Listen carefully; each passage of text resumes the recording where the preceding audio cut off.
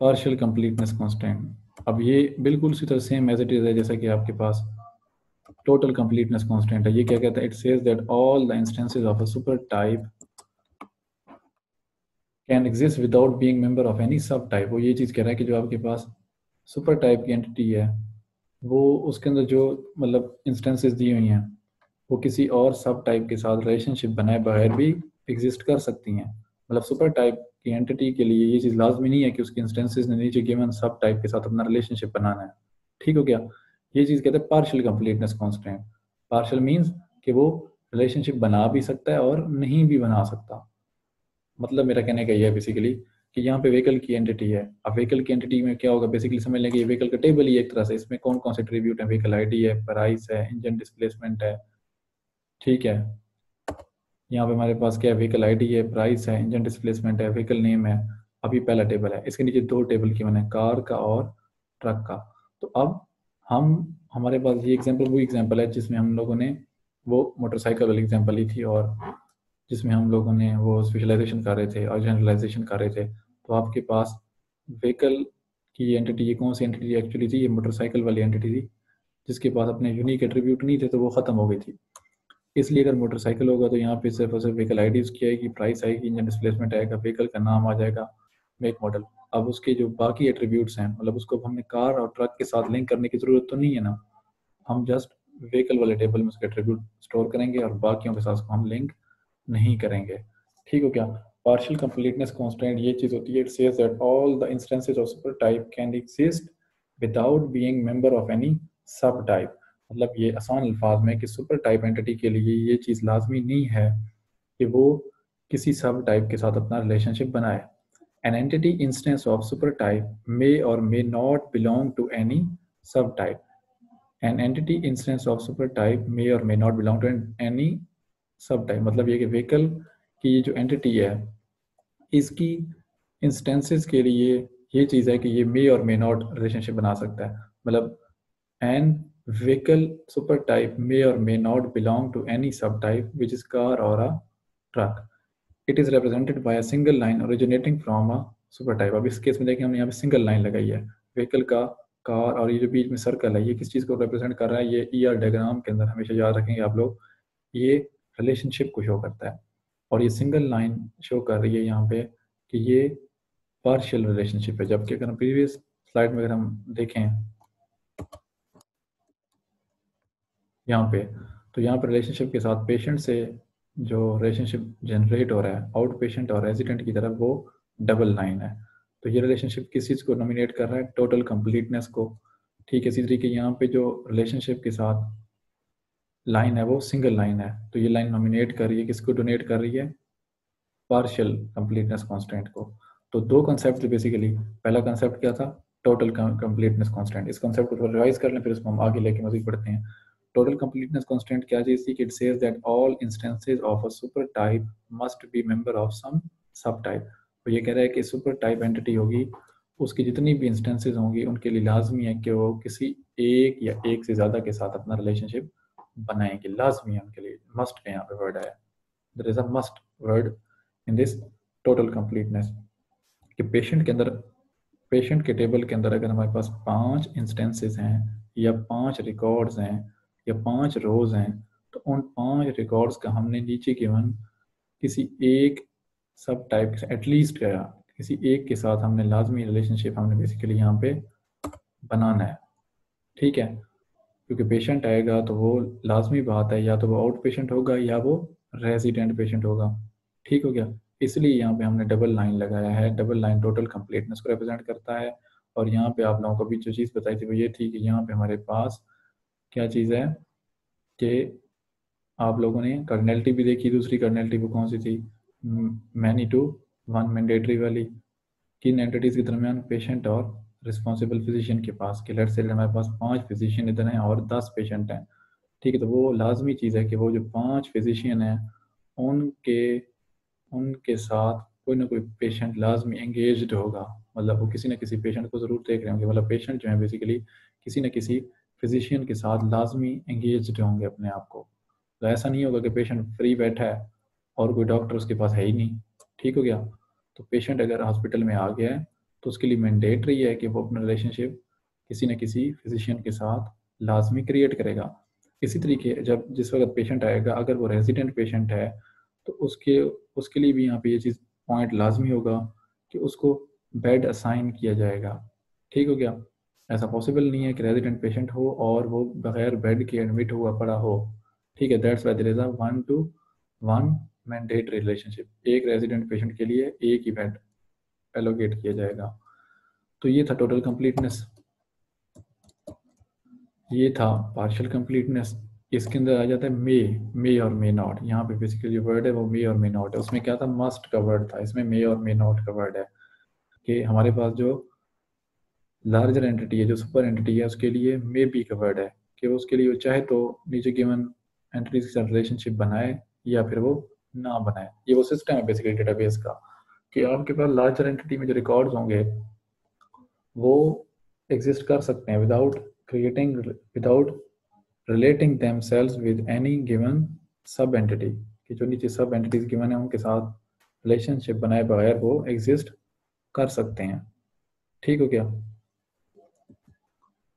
अब एक और इसके अंदर वराइटी आ जाती है, वो कहाँ से आई है? ये हमने दो पढ़ने थे ना अब यहाँ पे कंप्लीटनेस कॉन्स्टेंट को ख़त्म। अब अगला कॉन्स्टेंट है डिसजॉइंट कॉन्स्टेंट अब डिसजॉइंट कॉन्स्टेंट क्या चीज़ है हमारे पास? डिसजॉइंट कॉन्स्टेंट के भी फिर फर्दर आगे तो टाइप्स हैं they are two types of the disjoint constant अब डिसजॉइंट कॉन्स्टेंट और ओवरलैप कॉन्स्टेंट ये दो रूल्स हैं बेसिकली अब डिसजॉइंटनेस कॉन्स्टेंट क्या कहते हैं? Disjointness constant specifies that a supertype can be a member of two or more subtypes simultaneously. Disjointness ये कहता है कि हमारे पास जो सुपर टाइप है ना, वो दो या दो से ज़्यादा सब टाइप्स के साथ रिलेशनशिप सेम टाइम पे बना सकता है या नहीं बना सकता। इसकी दो टाइप्स हैं, एक है डिसजॉइंट ओवर डिसजॉइंट रूल है और एक है ओवरलैप रूल है। मतलब एक सुपर टाइप जो है मतलब एक उसकी कोई एक रिकॉर्ड को ले लें, किसी एक इंस्टेंस को ले लें। हम अगर कहें कि रिकॉर्ड नंबर थ्री क्या सेम टाइम पे नीचे गिवन दो सब एंटिटीज के साथ अपना रिलेशनशिप बना सकता है या नहीं बना सकता? तो ये चीज़ कहलाती है डिसजॉइंटनेस कॉन्स्टेंट ठीक है? अब यहाँ पे इसको हम देखते हैं। अब यहाँ, इसी एग्ज़ाम्पल को अब यहाँ पे आ जाए आप लोग। अब डिसजॉइंट रूल क्या कहते हैं? Disjoint rule says that an instance of a super type may not simultaneously be member of two or more subtype ठीक है? मे नॉट सिमल्टेनियसली वो दो सब टाइप्स के साथ अपना रिलेशनशिप नहीं बना पाएगा। डिसजॉइंट रूल में है कि वो दो सब टाइप्स के साथ अपना रिलेशनशिप नहीं बनाएगा। Disjoint rule a patient can be either an out patient patient अगर आएगा तो वो या तो आउट पेशेंट होगा या फिर रेजिडेंट पेशेंट होगा। ऐसा नहीं हो सकता कि वो सेम टाइम पे दोनों के साथ रिलेशनशिप बनाए। मतलब पेशेंट नंबर अहमद जो है, अगर वो जिस वक्त रिकॉर्ड्स एंटर किया जाएगा पेशेंट के टेबल में Ahmad ID number three age number age twenty four etcetera जो उसके एट्रीब्यूट्स एंटर करेंगे तो उसको फिर हमने किसी दूसरी एंटिटी के साथ लिंक करना है। या तो उसको हम आउट पेशेंट के साथ लिंक करेंगे, या उसको हम रेजिडेंट पेशेंट के साथ लिंक करेंगे। अब यहाँ पे देखें, यहाँ पे डबल लाइन भी साथ आ रही है। अच्छा डिसजॉइंट रूल को हम डी लगा देते हैं बीच में। अब ये क्या है? टोटल डिसजॉइंट रूल बेसिकली बन गया। एक और नया रूल है कि टोटल डिसजॉइंट अब यहाँ पे टोटल डिसजॉइंट का मतलब क्या है कि लाजमी है कि यहाँ पे डिसजॉइंट ही होगा। अब यहाँ पे टोटल डिसजॉइंट यहाँ पे पार्शियल डिसजॉइंट भी हो सकता था। पार्शियल डिसजॉइंट इस तरह से बन सकता है कि आपके पास वो जो होगा उसके लिए लाजमी नहीं है। पार्शियल डिसजॉइंट का मतलब क्या है?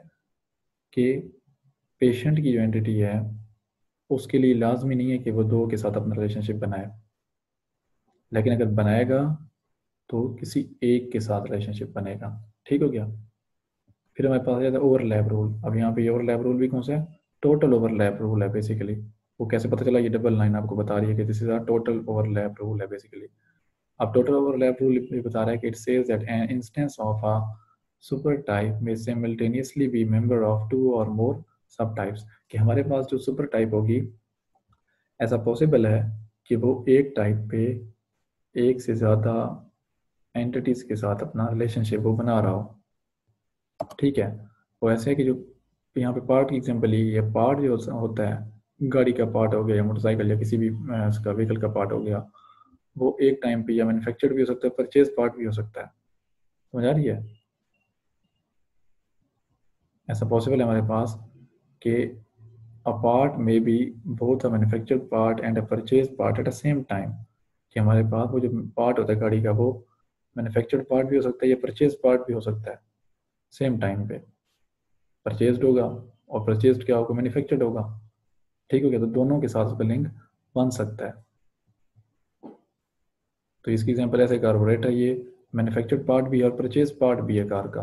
तो इसलिए इसका लिंक हम दोनों के साथ कर सकते हैं। इसको मैन्युफैक्चर भी किया गया है इसको परचेज भी किया गया। तो सेम टाइम पे हम उसको ओवरलैप रूल इसलिए कहते हैं कि पार्ट का रिलेशनशिप दोनों के साथ बनेगा।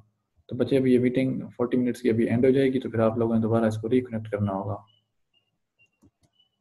तो ये हमारा था, यहाँ तक ये कुछ कंसेप्ट थे। ठीक हो क्या यहाँ तक कोई कंफ्यूजन किसी को कोई क्वेश्चन वगैरह किसी का माइक सबके ओपन है। सर ओवरलैप और डिसजॉइंट का दोबारा समझा दे सर ओवरलैप वजह इसमें हमारे पास ऐसा है कि डिसजॉइंट रूल बेसिकली पहले सिंपल अल्फाज में समझ लें। डिसजॉइंट डिसजॉइंट ओवरलैप होता क्या है? डिसजॉइंट में मतलब हमारे पास ये चीज़ होती है कि हम एक टाइम पे दो चीज़ों का रिलेशनशिप नहीं बना सकते। मतलब डिसजॉइंट का मतलब ये है कि आप सेम दो चीज़ों के साथ अपना रिलेशनशिप अगर ना बना सके ना तो उसको कहते हैं डिसजॉइंट डिसजॉइंट मीन्स कि आपने दो चीज़ों के साथ सेम टाइम पे रिलेशनशिप नहीं बनाना। ओवरलैप में ये होता है कि एक चीज़ एक टाइम पे एक से ज़्यादा चीज़ों के साथ अपना रिलेशनशिप बेसिकली बना सकता है। ठीक है? तो ये होता है ओवरलैप अब अगर हम डिसजॉइंट की बात करें तो डिसजॉइंट में ये है कि आपको एग्जांपल दी थी पेशेंट की।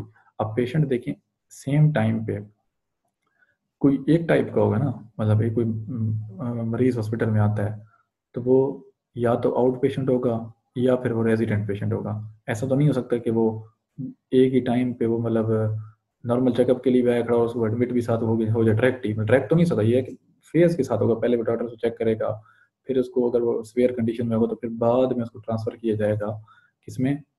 आईसीयू में ट्रांसफ़र उसको किया जाएगा। तो पेशेंट या तो आउट पेशेंट होता है, नॉर्मल चेकअप वाला क्योंकि जैसे रूटीन चेकअप वाले जाते हैं, ठीक हो गया या फिर पेशेंट वो होता है जो कि एडमिट वाला होता है, जिसको एडमिट किया जाता है सीवियर कंडीशन में पेशेंट आ गया, बहुत सीवियर कंडीशन में उसको डायरेक्ट ही वो फिर एडमिट की तरफ़ ले जाते हैं ठीक हो गया तो हमारे पास ये चीज़ है, disjoint rule. Disjoint rule says that an instance of supertype may not simultaneously be a member of two or more subtypes.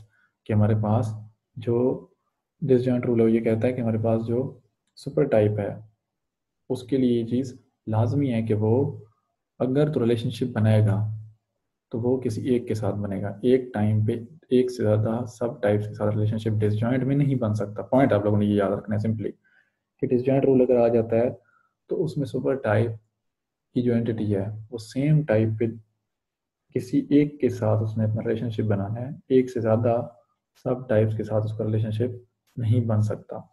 ठीक हो गया? इसके बाद हमारे पास है? Overlap rule overlap rule simple सा पॉइंट है वो ये याद रखना है कि जो हमारे पास सुपर एंटिटी होगी वो एक टाइम पे एक से ज़्यादा सब एंटिटीज़ के साथ अपना रिलेशनशिप वो क्रिएट कर सकता है। ठीक हो गया? क्लियर है अब चीज़? कोई इशू यहाँ पे? नो सर ठीक हो गया? बाकी बच्चे किसी और को कोई समझ ना आए हो कोई टॉपिक यहाँ पे कोई इशू आ रहा हो किसी को? सर कंप्लीटनेस कांस्टेंट का एक बार बता दें।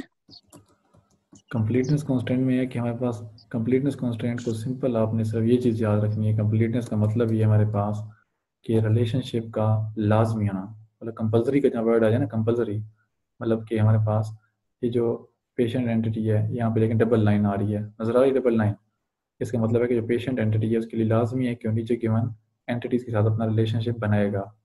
यहाँ पे इतना पॉइंट है। पॉइंट क्या है कि टोटल कंप्लीटनेस में ये होता है कि जो सुपर टाइप है, उसके लिए लाजमी है कि वो अपना गिवन एंटिटीज के साथ रिलेशनशिप बनाएगा। अब यहाँ पे अगर हम डी डाल देंगे डी तो फिर ये बन जाएगा total disjoint constant total disjoint तो टोटल डिसजॉइंट का मतलब क्या है कि total total disjoint completeness constant है बेसिकली इसका मतलब ये है कि सुपर टाइप जो पेशेंट एंटिटी है, उसके लिए लाजमी है कि वो रिलेशनशिप बनाएगा, पहला पॉइंट ठीक है, लाजमी रिलेशनशिप बनाएगा। दूसरा पॉइंट ये है कि जब वो रिलेशनशिप बनाएगा तो किसी एक के साथ बनाएगा। ठीक हो गया? क्लियर है?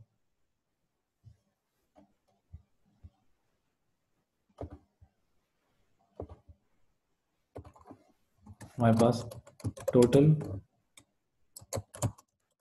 डिसजॉइंट कॉन्स्ट्रेंट होता है, बन जाता है। जिस वक्त हम, अब यहाँ पे अगर डी लगा दें सर्कल में मैं अगर डी लगा दूँ तो ये क्या बन जाएगा? टोटल डिसजॉइंट कांस्टेंट इसमें ये होगा कि super entity will relationship with given sub type पहला पॉइंट है कि गिवन सब टाइप के साथ लाजमी रिलेशनशिप उसने बनाना है लाजमी सेकंड पॉइंट यहाँ पे हमारे पास ये है कि अब यहाँ पे वर्ड आ जाता है disjoint disjoint specify that super entity will make relationship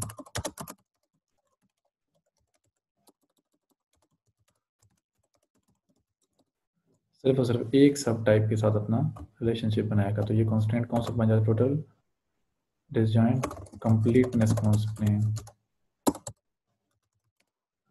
total disjoint completeness constant बन जाएगा। कि सुपर टाइप एंटिटी जो है वो उसके लिए लाजमी है कि वो गिवन सब टाइप के साथ अपना रिलेशनशिप बनाएगा और डिसजॉइंट इसमें ये चीज़ कर रहा है कि जब रिलेशनशिप बनेगा तो किसी एक एंटिटी के साथ रिलेशनशिप बनेगा, एक साथ के साथ नहीं बनेगा।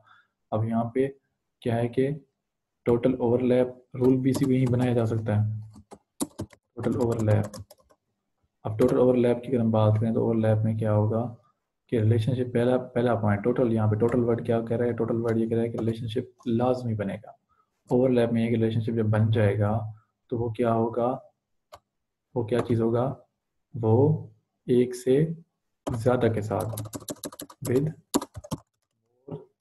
than one more than one sub type के साथ रिलेशनशिप बनेगा।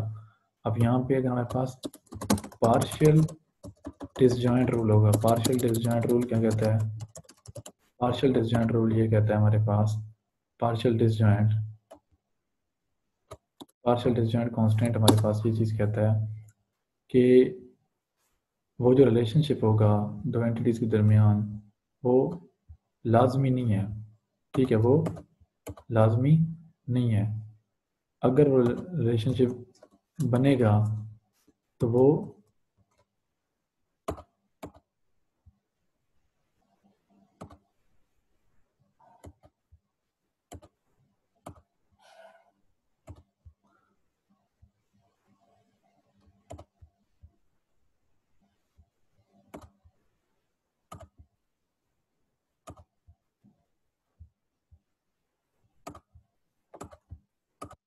अब यहाँ पे partial disjoint partial disjoint partial disjoint rule क्या कहेगा कि हमारे पास वो जो रिलेशनशिप है वो लाजमी नहीं है। अगर बनेगा तो वो किसी एक के साथ बनेगा। और पार्शल ओवरलैप रूल ये होगा कि रिलेशनशिप लाजमी नहीं है। अगर बनेगा तो वो दोनों के साथ बन सकता है। ठीक हो गया?